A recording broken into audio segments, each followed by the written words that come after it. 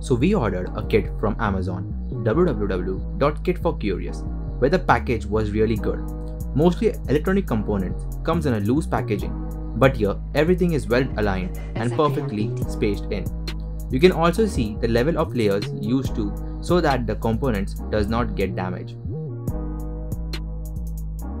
Where there is a acrylic board which comes with ultrasonic holder.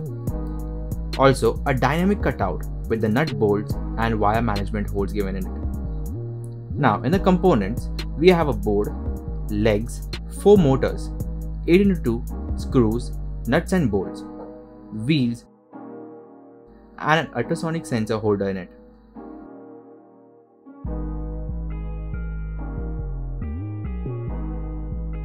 This is how the acrylic board looks. Jet glossy black finish.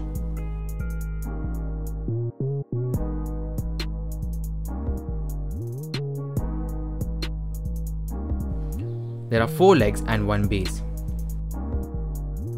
Now, take your one motor in hand and two legs. Place the motor such a way that the motor is facing up. But before placing the motor and screwing in it, first solder the two ends of the tips of the motor.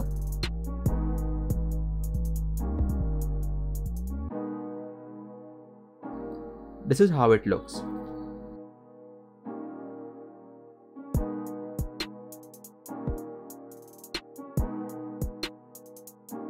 Now, place the motor between the two plates and screw it up using the screws given in the package. And then tighten it up with the nut bolt. After inserting both the motors in the legs, take the wheels and plug it on the exterior part of the motors, with the wires solder on the other side and the wheels on the opposite. Do the same step for the next two motors. Fix it up with the angle mount. Now, do it for the second leg also. Place 4 mounts on it, all facing one side. Then mount the board on the both legs. Now take your board and screw it up on it. This is how it will look.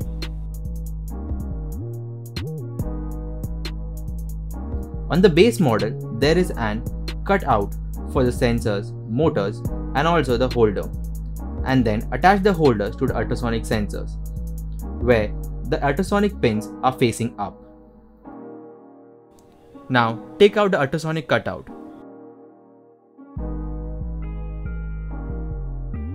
Take your Arduino Uno, your motor driver and plug it as shown over here.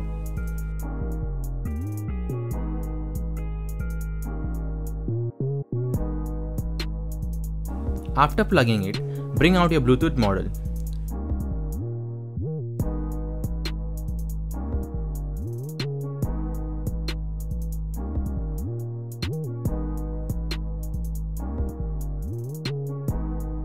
Take 4 female pins or 4 female wires. Cut 2 wires into half. Where the VCC to the plus 5 to the board and ground to ground. Then solder the TX and RX pin to the D1 and D0 on the board.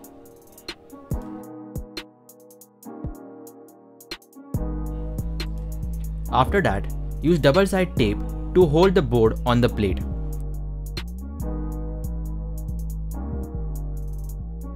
Connect the servo motors on the top side of the board as shown in the diagram.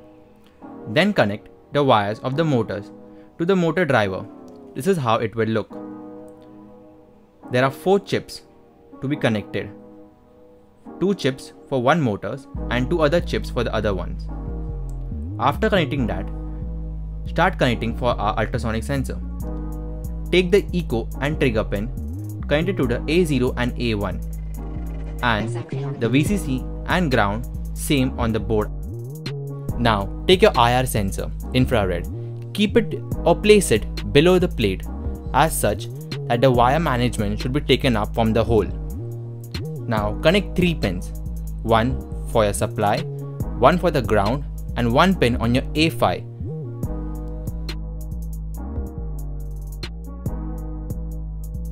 Now take your battery. We have used here two chips so that this battery can recharge by only plugging the USB cable in it. So we don't require to take out the LiPo batteries every single time. Now make a switching for it and start the robot.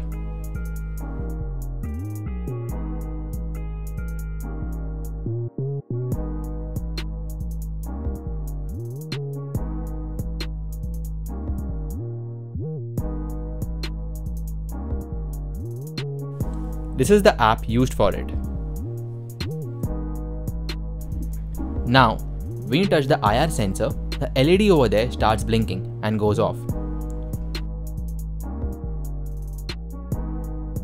Connect the Bluetooth system to your app. Once it's connected, then you can see our features over here. But first, go on voice control. Now click the button. Move forward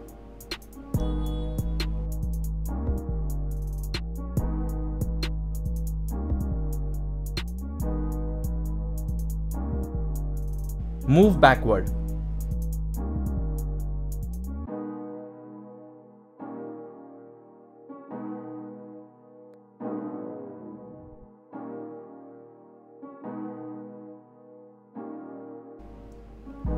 Turn right.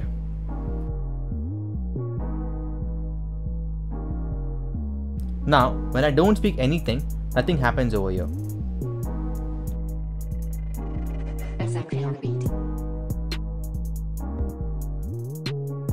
Turn left.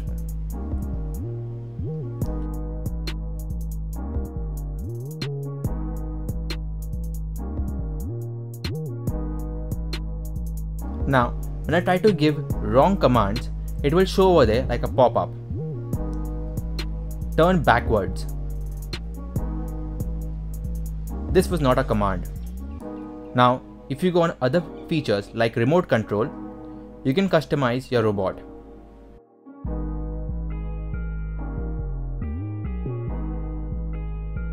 Thank you.